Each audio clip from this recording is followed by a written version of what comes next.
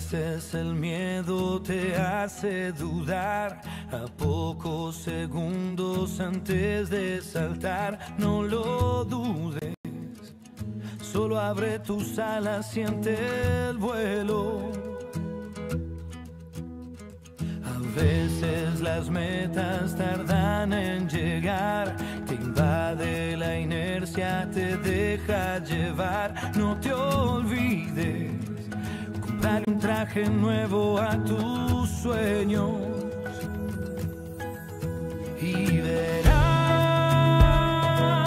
que la vida viene y va como un vas, un paso adelante y otro Ahora, paso más allá del grupo de WhatsApp y, y- y de que seguramente amistades y gente que te quiere encontrará en vos eh, la forma de acompañarte en este tránsito. O alguna terapia que hagas, no, no sé. Pero ¿cómo, ¿cómo se descarga esto de saber que vos sos un nexo? Porque sos Sí. eso. Recibe, pero sabes que se va. Primero nos hacemos cargo de que así lo pensamos, ¿no? Entonces, Claro. ¿qué voy a decir yo? Ay, se fue, sí.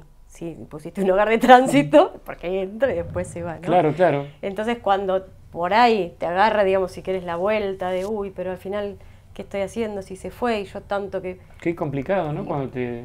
Y bueno, pero en realidad, como, como tenemos tan claro que iba a ser así, Hay está que ser ese, digamos... para eso. Claro, En realidad hay nos como un- pasó. como un dolor dulce, digamos, porque Bien. no es una tragedia que se fue, se fue para estar mejor.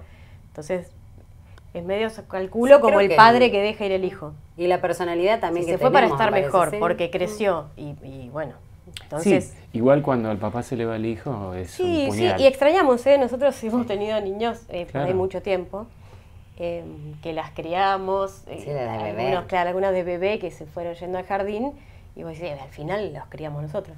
y sí, gra- gracias a Dios pudimos estar en ese tiempo de la vida, que nosotras creemos que hicimos lo mejor. Claro. este, y, y bueno, y se han ido bien, y también tenemos, viste, hemos visto el fruto de que los ves que se fueron como más saludables después de, de lo que fueron recibiendo. O bueno, eso nos Sí, parece. y aparte pero- los chicos, es impresionante también Sí, como, no. o sea, ponele un, niños que desde bebé hasta los 3, 4 años se fueron, o sea, criado, es como decíamos, bueno, Loli fue la que la bañó y todos los días de sus 3 años, la que, entonces la relación, pero nosotros también lo que tratamos es que desde el primer momento se dice la verdad, o sea, al niño aunque sea bebé, acá estás por un tiempo, yo soy Eugenia, ella Loli, digamos, los nenes a los 13 años se van, listo, chau, chau, y se van re bien. Obviamente que siempre cuando se van en adopción o lo que sea, siempre tienen un proceso de vinculación. Claro. Hay un proceso que se va acomodando. Entonces, eh, pero en ese proceso los nenes te sorprenden más que uno, porque los nenes se van contentos, tienen re claro. Y también es nuestro trabajo que mientras estén acá sepan que se a van a ir y es lo que tienen que hacer. Entonces, está bueno porque nos, va- nos quedamos más contentas porque ellos saben que realmente eh, estaban acá para irse y- a su familia. Ahora tienen su familia. eh, entonces, la verdad que creo Sí, que nos creemos poco- en serio, de que están contentos, están felices, están mejor. Un poco en chiste Y yo digo que son ingratos porque se van como sin darle, sin mirar para atrás, ¿viste? Mirá se van qué gracias por todo, gracias Sí, sí, por sí. todo y se van felices. Che, y, y cuando te dicen mamá, ¿qué haces? Bueno, es eh, un tema que al principio siempre parece como que, ay, no, no, me tengo que hacer la pava o no lo escuché o le digo no. Pero después, bueno, eh, fuimos aprendiendo que ellos, siempre con la verdad, yo no soy tu mamá, yo soy Eugenia, yo... Y, y después podemos jugar a ser mamá o papá. Claro. Porque también está bueno, tenemos un momento, bueno, jugamos a ser mamá o, o a veces jugamos a que yo soy la hija, pero en ese momento, listo. Después sí, que esté claro que, que no soy la mamá o que cualquiera de nosotros no es la mamá y, y lo entienden, lo reentienden y por eso te digo que a veces los adultos somos más dramáticos Sí, totalmente. que, que nos pasa eso, porque nos pasa con los voluntarios que llegan, con los referentes nuevos, con todo el mundo que te dice, che, no, pero me dijo mamá y no sé qué hacer, o me Mm. dijo papá y, o no, no, le tengo que decir que no. No, tranquilo, porque vos se lo explicás y ellos lo entienden mucho mejor que nosotros. Entonces, es eso, me parece, de desdramatizar todo, de tomarlo más natural, de ser sincero con los niños, tengan la edad que tengan, de los más chiquititos hasta los más grandes que parece que entienden más. Eh, y ahí está la clave, me parece. Cuando uno es sincero, después todo se va acomodando. Y tienen sus días también, porque te, un día tenés nene que te dice, no, pero yo quiero que seas mi mamá, que seas, mi- o, o que juguemos a la mamá, y que están más, más insistentes, porque tal vez algo le pasa, pero si uno se lo toma tranquilo y volver a, a- a decirle, no, es, es mucho menor lo que pensamos. Eugenia dijo sinceridad. Sí, Vos vivís acá. sí. Sinceramente, ¿este es tu lugar en el mundo o hay otros lugares también? ¿O este es un lugar más, aunque vivas acá? Y ahora puede ser que sí. Mm. No sé si para siempre. esa- no- Cuando no alguien te, claro. no te conoce y te pregunta dónde vivís, ¿vos explicás dónde vivís? Sí, Mm. no es tan cortito como antes, pero Claro. sí, como que tiene una explicación detrás, pero sí, sí. ¿Y vos le encontrás explicación a vivir acá? Sí, em, como que es muy concreto, no, no, no tiene una explicación muy larga tampoco. Tampoco igual que ella. Claro, como que vivo acá, estoy bien. em, nada, y comparto con los niños. ¿Qué es un niño para vos? Describime un niño eh, como si yo no supiera qué es. Y vos me lo tenés que explicar. Para mí un niño es la, la inocencia, la felicidad, siempre alegre. Los niños, para mí un niño es demuestra lo, lo sencillo de, de la vida tal, no sé cómo frisarlo, pero tan lindo, o sea, lo sencillo que es todo en la vida para un niño, pero que es lo- las, pequeñas, las pequeñas cosas, digamos, eh, con total felicidad, con total alegría, con eh, poder adaptarse. Un niño, para mí es, eh, lo, sobre todo lo que hay que cuidar, es un tesoro más grande que hay que cuidar. para que, porque después todo surge de eso, del niño. O sea, el niño para mí sí es ese tesorito que hay que cuidar para que después eh, pueda ser alguien, para que la sociedad, o sea, es como que después la cadena es, es muy grande para que podamos ser una buena sociedad, para que ese niño haya podido vivir el amor. Por eso es como un tesoro que hay que cuidarlo mucho. ¿Vos te das tiempo para aprender del niño? Porque ustedes están preparadas para recibir, para acompañar, para educar, para hacer crecer, para ayudar, para transitar un determinado tiempo. Pero ¿vos te tomás el tiempo para aprender? ¿Vos crees que... Sí, sí, te enseñan bueno, algunas cosas por ahí más simples que, hemos, que yo he aprendido. Es, eh, digamos, cómo se enojan con vos. A Mm. los 10 minutos pasó y uno se hizo toda la culpa y te replanteas, chau, nunca más me va a querer y ahora nunca más voy a poder tener llegada y qué sé yo. En ¿Y si realidad terminó, pasó? claro, terminó al rato. O sea, hemos tenido por ahí drama, drama que a uno le parecen dramas porque sí, te di, chicos más grandes que nos han dicho, Sí. te dicen, vos no sos mi mamá y no me hables más y no quiero vivir más acá. Y decís, chao, de esto no hay vuelta. Y al día siguiente se pone a dormir y al día siguiente estamos como siempre. Entonces por ahí, que uno, por ahí o por la personalidad sos, viste, como más terminante, eso es, es un aprendizaje. Y el otro, por ahí más, para mí también más importante, es que ellos, bueno, la capacidad de, de ver lo positivo de la vida y de arrancar cada día de nuevo como si nada. Nosotros en esto que vos me decís de que somos sinceras, eh, nosotros no les mentimos al punto de manejar cierta incertidumbre porque cuando nos preguntan más grandecitos cuándo se van a ir y con quién se van a ir, muchas veces no sabemos. Lo sabemos un tiempito antes, pero Claro. hay periodos largos en que no sabemos. Y no es una respuesta que te deje muy tranquilo. Si vos me preguntás dónde, Sí. dónde voy a vivir, yo voy a vivir siempre acá, no. ¿Dónde voy a vivir? No sé. Y ahí estamos. Igual que Y los ellos- chicos. Claro, y ellos al día siguiente, el día siguiente encuentran motivación en jugar, en, en divertirse con, con los otros, en ir a la escuela. O sea, nosotros estaríamos tirados deprimidos hasta que vienen a darte la sentencia de para dónde vas, me parece. Claro. Y ellos siguen día a día alegres, ¿eh? No, no solo sobreviviendo.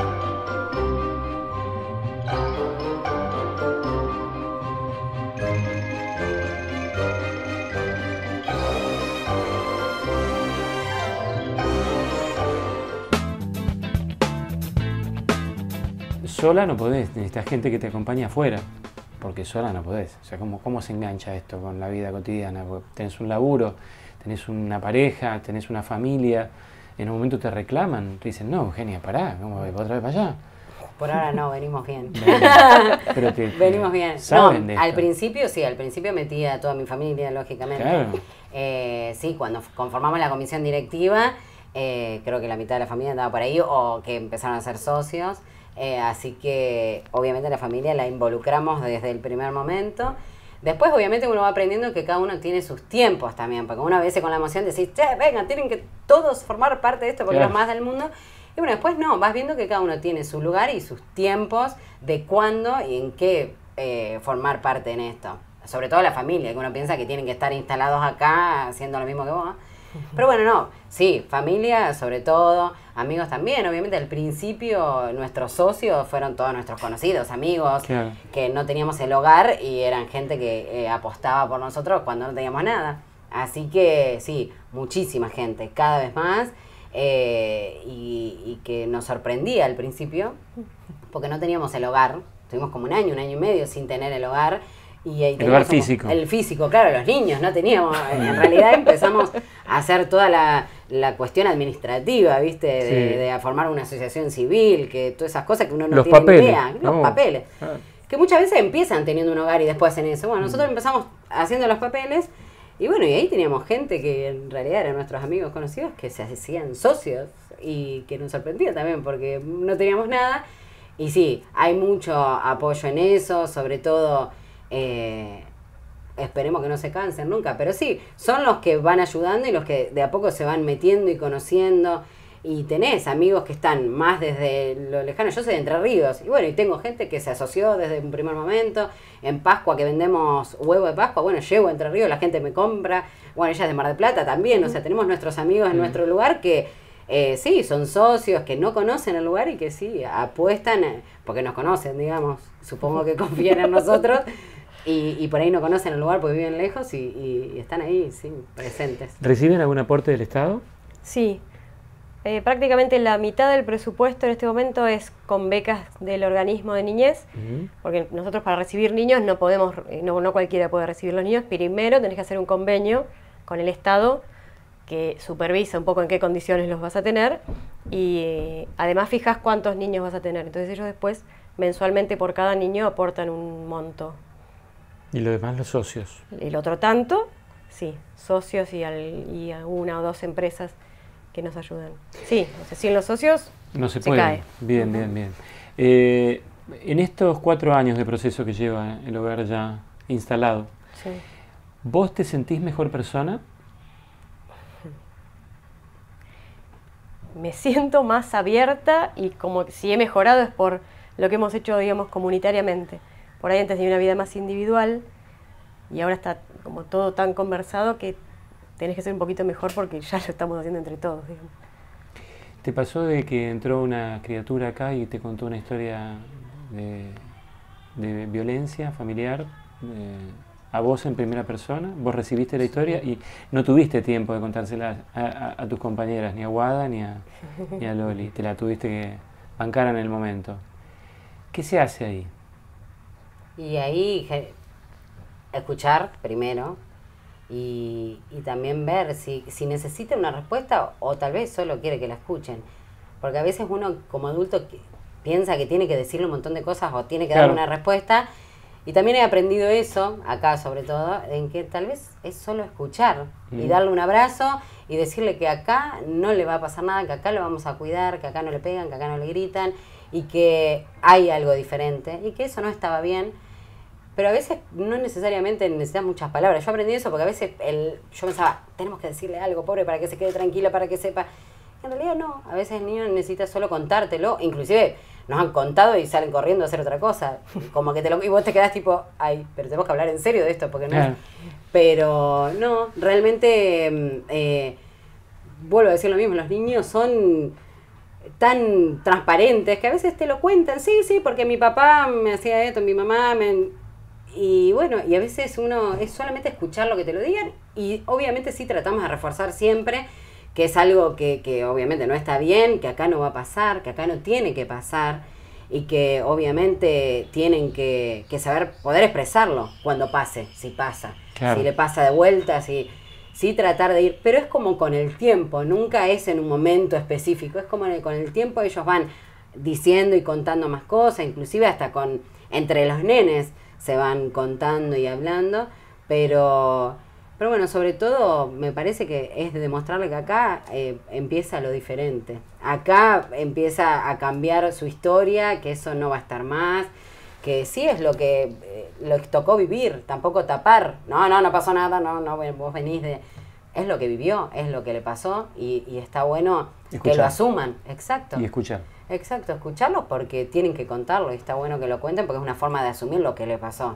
Si no, uno, cuando no cuentan a veces te sorprende, porque nosotros a veces generalmente sabemos obviamente de dónde vienen o qué les pasó y me sorprende más cuando no lo cuentan que cuando lo cuentan. Sí.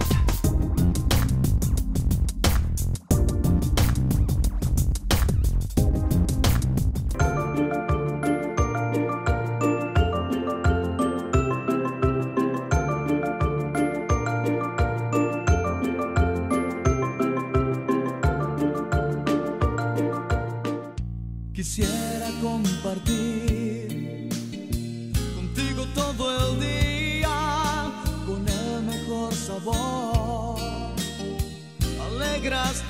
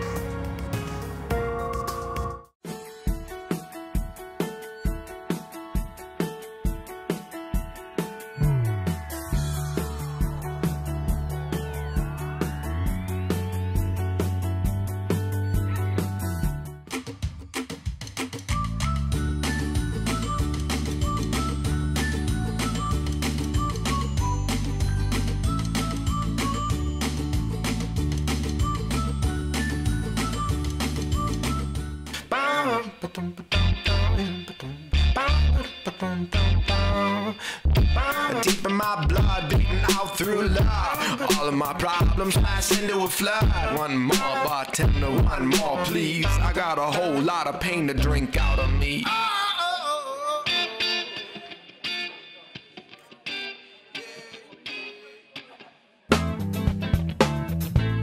Hay eh, familias de tránsito, Sí, ¿no? también. Que son familias que ustedes necesitan que aparezcan más. Sí. Que son las familias que reciben a los niños, los tienen ahí para que tengan una adaptación familiar y posteriormente pasen a una familia Es, de es similar al hogar, lo Claro. que pasa que en el entorno familiar, dos años después de haber creado el hogar, se dieron las condiciones de poder largar este programa, que Mm. también nos gustaba desde el principio, pero bueno, no, no se podía armar y en el 2017 inició.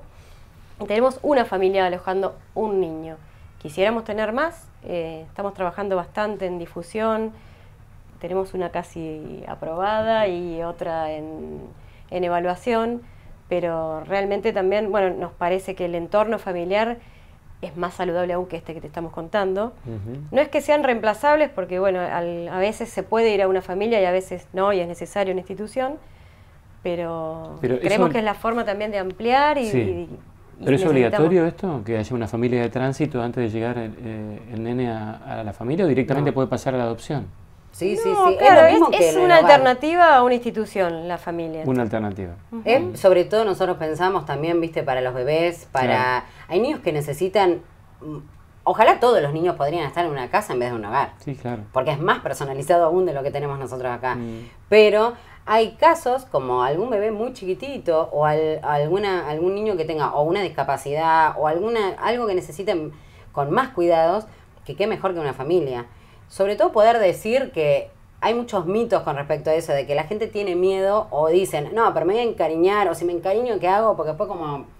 La idea es que las familias ya tengan hijos, primero, porque, porque bueno, obviamente, si una familia, una pareja no tiene hijos, por ahí es más difícil, se confunde. Claro. Igual se puede ver, nunca, va, yo siempre digo, no, no digas que no, porque por ahí, si lo entendés vos como adulto, cuál es tu función de que esté en ese momento que vos eh, lo cuides y después se va a ir, con eso alcanza.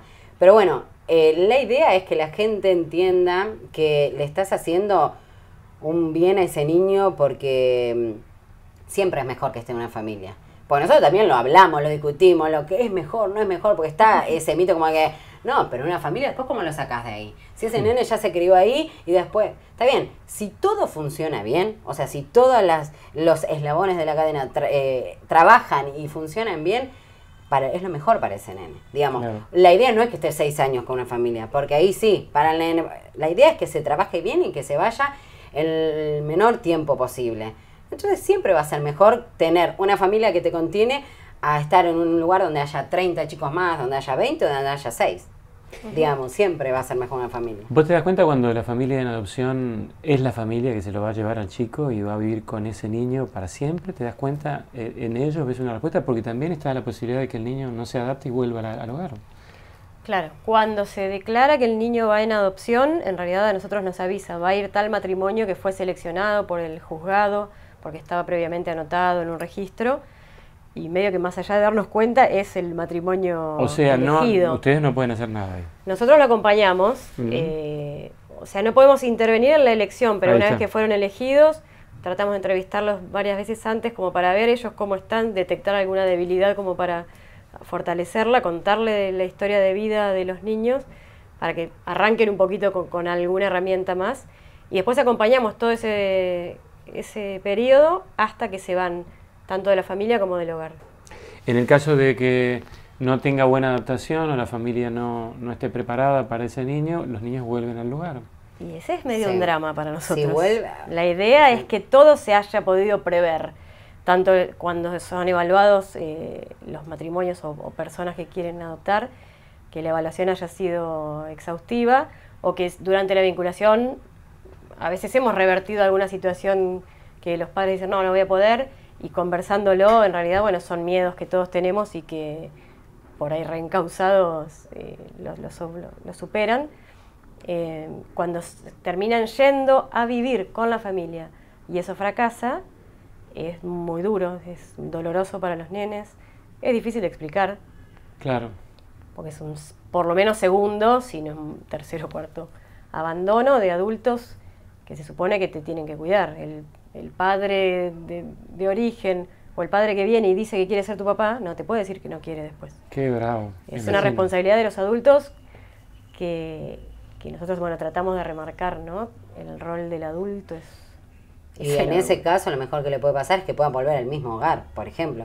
Pero que muchas veces, por ejemplo, si nosotros se fueron y acá no tenemos eh, vacante, se van a otro hogar. Claro. O sea que encima cambian muchísimo de lugar. Por eso sí, es muy importante las entrevistas previas de- desde el juzgado o las que podamos hacer nosotros. Pero obviamente, vos por ahí le preguntabas, ¿te das cuenta si son los papás? Bueno, no, no te puedes dar cuenta. Y sobre todo porque obviamente hay cosas que son tan profundas de esos papás que, que solo ellos, digamos, lo saben. Entonces a veces, eh, aunque uno haga todo, a veces tal vez no funciona. Eh, y esos papás no se dieron cuenta antes. Claro. Sí, y hay, hay tiempos que te Sí. condicionan. Nosotros tampoco podemos hacer, la psicóloga nuestra, un trabajo de terapia de dos años con esos padres para buscar el lugar de hijo que ten- No, a nosotros ya nos dicen, este matrimonio se seleccionó. Entonces, bueno, de ahí hay que trabajar con lo que hay y a veces cruzamos más los dedos que otras. Me imagino. bueno, ¿Por qué se llama Felicitas? Y Felicita es mi abuela. Ah, ¿por tu abuela? Ajá, mi ¿Le abuela. gustó a ella? Sí. Sí, aparte era lindo el nombre, Felicitas me gustaba, digamos como que pegaba, pero justo en el 2011 falleció mi abuela y ese año como que comenzamos con todo esto, entonces también estaba como muy reciente y bueno, y cuando empezamos a averiguar también qué significaba, era felicidad, eh, así que había como muchas cosas, nos gustó el nombre, obviamente lo propuse y les gustó a las chicas y bueno, y quedó Felicitas. Sí, no hubo mucha discusión.